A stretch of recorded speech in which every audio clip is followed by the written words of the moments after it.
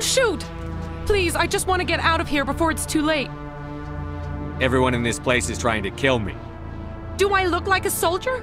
I'm a neurospecialist, and this job isn't worth dying over. Or worse. You think the indoctrination only affects prisoners?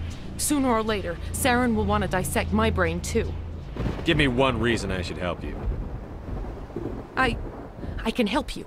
This elevator behind me goes to Saren's private lab. I can get you in. See? Full access. All of Saren's private files. Are we good? Can I go? You conducted brutal experiments on helpless test subjects. You helped Saren. You don't get to live. I just did what I was told. I didn't have a choice. I'm sorry. Sorry doesn't help your victims. No, no!